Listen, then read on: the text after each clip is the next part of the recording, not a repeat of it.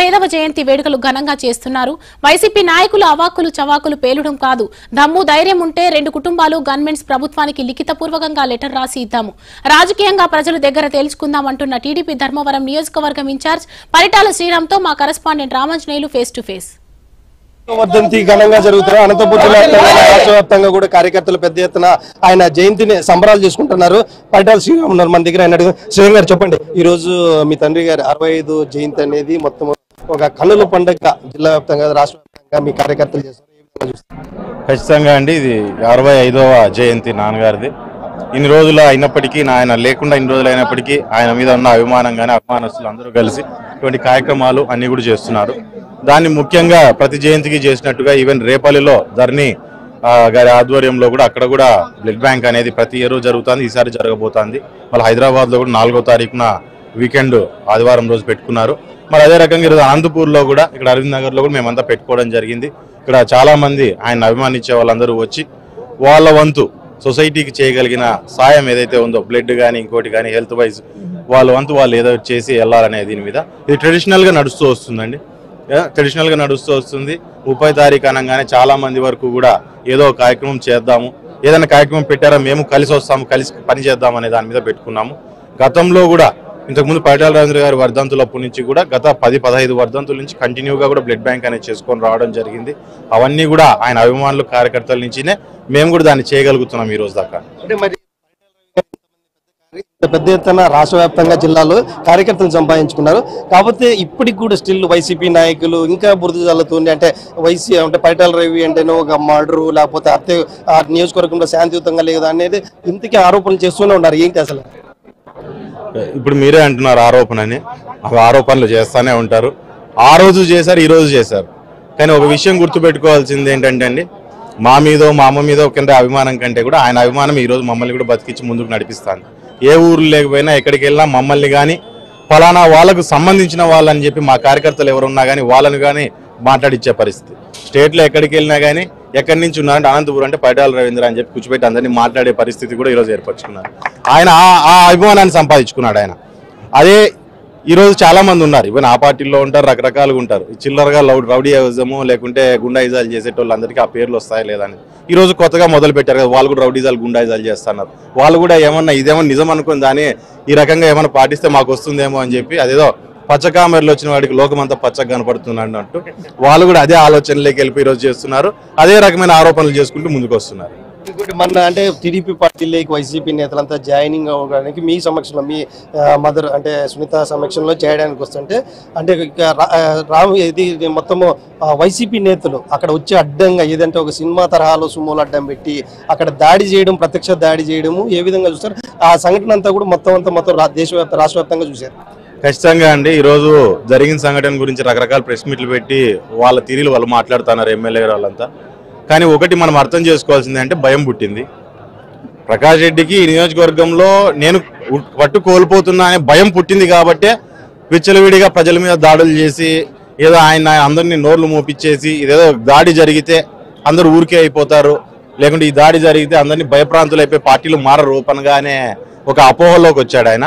ఈరోజు వాస్తవంగా సరికులస్తుడు అని చూడుకోకుండా ఆయన ఇష్టానుసారం కొట్టడము వెళ్ళి తీసుకెళ్ళి దాబాల్లోకి వేసి కొట్టడము ఇంకా చెప్పలేని పదజాలం. ఈరోజు మనం చూస్తున్నాం ఈరోజు వీడియోలో కూడా మీరు చూసే ఉంటారు. ఒక నిజంగా ఒకవేళ ఒక వ్యక్తి కిడ్నాప్ అయ్యి బండిలో ఉంటే బాబు దిగు అంటామా? లేకపోతే గలీజ్ మాటలు మాట్లాడతామా అనేది చూసుకోవాలా? ఏం వాళ్ళ ఇంట్లో అన్నదమ్ములు ఇద్దరు అట్లా గలీజ్ కూతలు కూర్చుకుంటారేమో ఒకరిని పొద్దున్న లేగానే పిలుచుకుంటారేమో అంటే వాళ్ళ పిల్లల్ని పిలుచుకుంటారో తెలియదు కానీ అలవాటు వాళ్ళకి ఏమైనా ఉందేమో కానీ ఎవరైనా సరే నిజంగా ఒక చిన్న కాన్సెప్ట్ మనం అర్థం చేసుకోవాలి. ఒక వ్యక్తి కిడ్నాప్ అయి బండిలో ఉంటే అది నీ వ్యక్తి అయితే బాబు దిగు నువ్వు రా అని చెప్పి పిలుచుకుంటారు కానీ దిగరా ఇంకో రకరకాల మాటలు మాట్లాడరు. అది మనం వీడియోలో క్లియర్గా చూస్తున్నాము. తీసుకెళ్ళారు ఆ అబ్బాయిని కొట్టారు. కొట్టి ఆ అబ్బాయితో మళ్ళీ స్టేట్మెంట్ ఇప్పించారు. ఇప్పించి ఈ రకంగా చేస్తున్నారు. కానీ ఎన్ని ఏం చేసినా కానీ ఎప్పటికైనా న్యాయమే గెలుస్తుంది. నిజం దాగదు. నిజం ఖచ్చితంగా బయటకు వస్తుంది. పోలీసు ఉన్నతాధికారులని అవహేళనంగా మాట్లాడుతున్నారు. ఎక్కడ వెళ్ళినా కూడా అంటే ఒక ఉన్నత సిఎస్ఐ కానీ సిఐని కానీ ఆ పదిజాలం అంటే ఒక పరిటాల శ్రీరామ్ మా నోటి నుంచి అంటే ఉన్నతాధికారులని దూషిస్తున్నాడని ఒక స్థానిక సిట్టింగ్ ఎమ్మెల్యే ప్రకాష్ రెడ్డి చెప్తున్నాడు. అదే ఇది ఒకటి గుర్తుపెట్టుకోవాలండి. ఈ రోజు పరిటాల కుటుంబం కావచ్చు తెలుగుదేశం కార్యకర్తలు కావచ్చు పరిటాల అభిమానులు కావచ్చు. చాలా గౌరవంగా బతికేవాళ్ళు. ఎదుటి వాడిని గౌరవం ఇచ్చినాడు మనకు గౌరవం వస్తుంది. మేము గౌరవంగా బతికేవాళ్ళమని మేము ఎందుకు చెప్పుకుంటున్నాం అంటే మేము గౌరవం ఇస్తాం కాబట్టి వాళ్ళు మా గౌరవం ఇచ్చేదాన్ని బట్టి సొసైటీలో మేము గౌరవంగా బతకగలుగుతామని చెప్పుకోగలుగుతున్నాం. ఈరోజు ఉన్న విషయం ఏంటంటే అండి, ఎక్కడైతే ఇప్పుడు పోలీస్ డిపార్ట్మెంట్ అంటే కూడా చాలా గౌరవం ఉంది. తెలుగుదేశం పార్టీకి కావచ్చు మా కుటుంబానికి కావచ్చు. కానీ ఎక్కడైతే వాళ్ళు క్రమం తప్పి వాళ్ళ పద్ధతి తప్పి ప్రజల మీద కానీ కార్యకర్తల మీద కానీ ఎక్కువ ఇబ్బంది పెట్టేకి వచ్చినప్పుడు ఖచ్చితంగా వాళ్ళ మీద ఆరోపణలు చేసే ఉంటాం. ఏ రకంగా అయితే వాళ్ళు రూల్ తప్పి మాట్లాడినప్పుడు మేము కూడా మేము వాళ్ళకి ఖచ్చితంగా హెచ్చరించుకోవాల్సిందే. మీరు తప్పు చేస్తున్నారు చూసుకోండి అనేది. దాన్ని అసభ్య పదజాలంగా మాట్లాడుకున్నట్టయితే ఒకసారి ఐదేళ్ళ కిందట మనం చూసుకున్నట్లే శ్రీకాకుళం యాత్రలు పట్టిస్తామని చెప్పి పోలీసుల్ని ఇష్టానుసారం మాట్లాడిన పరిస్థితి. ఈరోజు కేసులు కట్టకోకుంటే ఎస్ఐల్ని సిఐల్ని నోటికి వచ్చినట్లు తిట్టే పరిస్థితి. ఎస్ఐల్ని సిఐల్ని కానిస్టేబుల్స్ని. ఈరోజు నన్ను కాదు స్టేషన్లోకి వెళ్ళి ఇటువంటి మైకులు పెడితే స్టేషన్లో వాళ్ళే వాస్తవంగా చెప్పాలంటే ముఖానికి బట్టేసుకొని కనపడుకోకుండా ఏడ్చుకునే పరిస్థితి పోలీసులకు ఏర్పడింది నియోజకవర్గంలో. ఎందుకంటే వాళ్ళతో వాళ్ళు చదువుకొని కాకి బట్టలు వేసుకొని ఉన్నప్పుడు అంతో ఇంతో నీతికి న్యాయానికి పని చేయాలనుకుంటున్నారు. కానీ ఆ నీతికి న్యాయం తప్పిస్తున్నారు. సో ఈరోజు నేను తిట్టడం కాదు. ఆయన తిట్టే మాటలకి పాపం వాళ్ళు బాధపడే పరిస్థితి ఈరోజు ఏర్పడింది. ఎమ్మెల్యే అంటే పరిటాల శ్రీరాముకు మేము రక్షణ ఇస్తున్నాం. అంటే పోలీసుల్ని ఏదైతే పోలీసుల సపోర్ట్తోనూ లేకపోతే పోలీసులు ఏదైతే మా ప్రభుత్వం వాళ్ళ పరిటాల శ్రీరామ కానీ పరి కానీ రక్షణతో మేము కాపాడుకుంటున్నాము. ఒకవేళ గన్మెన్లు తీసి ఏమైనా నియోజకవర్గంలో తిరగలరా అని ఛాలెంజ్ సింపుల్ అండి ఈరోజు గవర్నమెంట్ రక్షణ ఇచ్చిందంటే సొసైటీకి మేము ఉపయోగపడే వ్యక్తులు కాబట్టే రక్షణ ఇచ్చుంటుంది. ఈరోజు వాళ్ళ అన్నకి రక్షణ ఇచ్చినారు. ఒకసారి అది చూసుకోవాలి? నిన్న జరిగినప్పుడు కూడా గన్మెన్ కనిపించినాడు. వాళ్ళ అన్న రెండు మూడు మర్డర్ కేసులు అంటే ఎట్లా ఆస్తుల కోసం చంపిన మర్డర్ కేసులు భాగాలు పంచుకోవడం కోసం జరిగిన మర్డర్ కేసులు మరి దాంతోపాటు ఒకప్పుడు జూబ్లీస్లో జరిగిన తొంభై ఆరులో జరిగిన బాంబ్లాస్ట్లో ఆయన చివరి ముద్దాయి పదహైదో ముద్దాయి ఆయన. ముగ్గురు అన్నదమ్ములు ముద్దాయిలు. ఈరోజు ఇంకా స్టిల్ కేసు జరుగుతుంది. ఇట్లాంటి వాడికే ఇచ్చినప్పుడు వాస్తవంగా సొసైటీకి ఉపయోగపడతామని మాకు ఇచ్చారు. సరే నువ్వు అదే అనుకునేటట్టు ఉంటే నువ్వు పోలీసుని పక్కన పెట్టు గన్మెన్లను పక్కన పెట్టు నాకేం అవసరం నేను పక్కన పెడతా గన్మెన్లని గ్రామాలకు వెళ్దాం. కొట్టుకోవడానికి నేను పిలవట్లా. మొత్తం అందరిని రివోక్ చేపించి పారే ఏం నీ చేతిలో ఉంది కదా? నాది తీసేది నేను ఇచ్చేస్తా లెటర్ నువ్వు కూడా లెటర్ ఇచ్చేసి అన్నదమ్ములు ముగ్గురు లెటర్లు ఇవ్వండి ఇచ్చి మీరు బయటికి రండి. బయటకు వచ్చి ప్రజల్లోకి పోండి. ఏ మనం కొట్టుకొని చంపుకునే పని ఏం లేదు. ప్రజల్లో పోయి గ్రామాల్లోకి పోయి ప్రజల సమస్యల గురించి మనం మాట్లాడదాము. ఈరోజు నువ్వు వెళ్ళలేని పరిస్థితి. నువ్వు గన్మెన్లు పెట్టుకొని తిరిగే పరిస్థితి. ఎందుకంటే ఈ అనంతపురం చుట్టుపక్కల ఉన్న భూములన్నింటిలోనూ మొత్తం ప్రతి ఒక్క చోట పంచాయతీల్లో పెట్టుకొని ప్రతి ఒక్కరు చాలామందిని అన్యాయం చేసి వాళ్ళ పార్టీ వాళ్ళని చాలామందిని ముంచేసి ఈరోజు చాలా ప్రాణహాని ఉంది అని చెప్పి ఒక బండిలో తిరిగే నువ్వు పది బండ్లు ఈరోజు తిరుగుతానని నువ్వు అర్థం చేసుకోవాలి. అంటే నువ్వు ఎంత భయపడతానో దేనికోసం భయపడతాన్నావు అనేది. సో నువ్వు నన్ననే ముందు నీ వెనకలు తిరిగి చూసుకో. వద్దు గనిమేలు తీసేద్దామా? నేను తీసేస్తా నువ్వు తీసి ఇప్పుడు నువ్వు నువ్వు ముందు పోయినప్పుడు నీ వెనకాల సైరన్ వేసుకొని పోలీసులు పోవాల్సిన అవసరం లేదు నీ ముందర. నీ నీ ముందరో నీ అన్న ముందరో ఇంకోరు ముందరో పోవాల్సిన అవసరం లేదు. తీసేసి వద్దని చెప్పు వాళ్ళను. గన్మెన్లు కూడా వద్దని రివోక్ చేసే లెటర్ ఇచ్చేసి పబ్లిక్ మీడియా ద్వారానే బయటకు వదిలేమని లెటర్ నేను వదిలేస్తాను అట్లా అదే రకంగా. ఇద్దరు తీసేద్దాం గ్రామాల్లోకి పోదాం.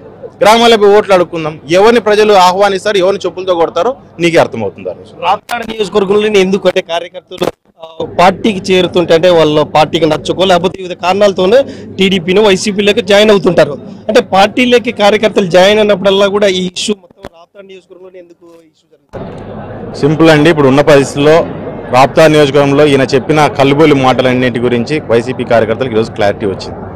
వాళ్ళందరూ మేము ఇక్కడ ఉంటే ఈ ఈ- ప్రాంతం బాగుపడదు లేకుంటే మే- ఇతనికి సపోర్ట్ చేసి ఇతన్ని మళ్ళీ గెలిపించామంటే మొత్తం అందరూ పెట్టబెట్టి చదువుకొని వెళ్ళిపోవాల్సిన పరిస్థితి.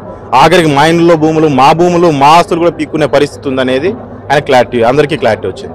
ఫస్ట్ రెండు మూడేళ్ళు ఏ పట్టించుకోకుండా ఆస్తుల మీద పడిపోయి టీడీపీ లేదు వైసీపీ లేదు లేకుంటే వేరే పార్టీలు లేదు కులం లేదు మతం లేదు. పక్క ఈవెన్ పక్కన ఉండేవాడా కాదా అనేది కూడా చూడకోకుండా ప్రతి ఒక్కరి దగ్గర ఇది చేసుకున్నాడు. ఈరోజు వాళ్ళంతా కదులుతున్నారు. ఈ భయపెట్టేస్తే వీళ్ళంతా బయటికి రారనేది ఆయన ఒక అపోహ. కానీ వాస్తవంగా చెప్పాలంటే ఈ రాప్తా నియోజకవర్గంలో చాలా చైతన్యవంతులు ప్రజలు అనేవాళ్ళు. చాలా చైతన్యం చైతన్యం ఉంటుంది వాళ్ళకు. సో ఏ పార్టీలోనో ఆ చైతన్యం అనేది ఈరోజు మీరు చేసే పనులకు రెండు రోజులు ఆగి ఆగి ఆగేటట్టు చేస్తుందేమో కానీ వాళ్ళలో వచ్చిన మార్పును మాత్రం మార్పలేదు ఖచ్చితంగా నువ్వు ఎన్నైనా చేయి వాళ్ళు ఖచ్చితంగా వాళ్ళు బయటకు వస్తారు. నిన్ను దగ్గరలోనే నిన్ను దగ్గర పూర్తి కనపడుకోకుండా తొక్కేసే రోజులు కూడా ప్రజలు తొక్కేసే రోజులు దగ్గరలో ఉన్నాయి.